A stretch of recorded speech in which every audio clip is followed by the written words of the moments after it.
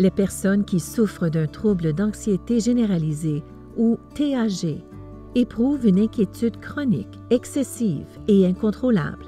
Souvent, elles ont les nerfs à fleur de peau, se fatiguent facilement, ont de la difficulté à se concentrer, se sentent irritables, ressentent des tensions musculaires et ont des problèmes de sommeil.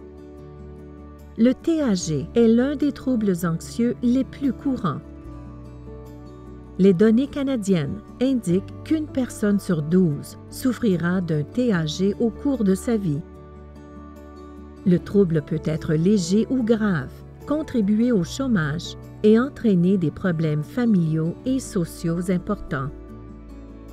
Il peut engendrer d'autres problèmes, comme la peur de rencontrer des gens, des crises de panique graves et la dépression.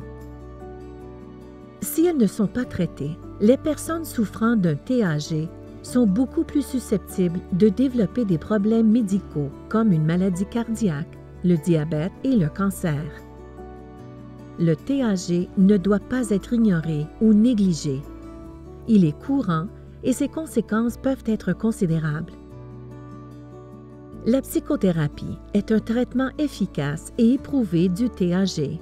Selon une étude canadienne, 77% des personnes qui ont suivi une psychothérapie de courte durée ne présentent pas de symptômes de TAG un an après le traitement. Les thérapies les plus utiles sont la réévaluation cognitive pour aider à corriger les schémas de pensée, des expériences comportementales pour aider à faire face à l'incertitude, l'exposition en imagination pour aider à affronter ses peurs, la formation à la résolution de problèmes pour apprendre de meilleures façons de résoudre les problèmes quotidiens, la technique de Jacobson pour diminuer les symptômes physiques de l'anxiété.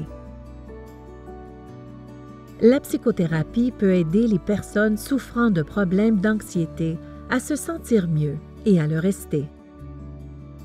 Pour en savoir plus sur le trouble d'anxiété généralisée ou sur d'autres troubles similaires, visitez le site suivant